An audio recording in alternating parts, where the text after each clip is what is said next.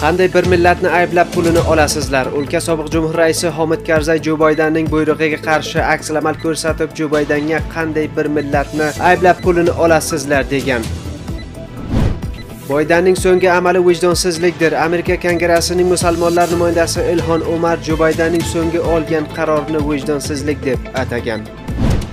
Hukumat yuqori martabali hay'ati Qatar yetib bordi. Bugun Tashqi ishlar vazirligi boshqaruvchisi Mavloviy Amirxon Muttaqi yuqori martabali bir hay'at boshchiligida Qatarda Yevropa birlashmasi va Xalij mamlakatlari rasmiylari bilan uchrashishlari mumkin.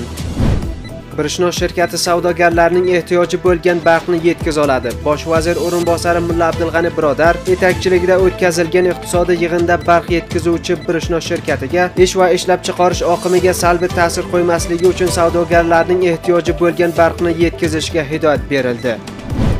Amerikani birlashgan deganimdan uzr so'rayman. O'lka sobiq amniyat kengashi maslahatchisi Rangin Dodfar Ispanto Boydanning qaroriga qarshi aksil-amal ko'rsatib, Amerikani birlashgan deganimdan Afg'oniston xalqidan uzr so'rayman va meni kechirishlarini istayman degan. E'tirozchilar Boydanni o'z qaroridan voz kechishni istaymiz. Kobul yashovchilari Jo Baydanning qaroriga qarshi e'tiroz qilib, Boydan o'z qaroridan voz kechishni istaganlar.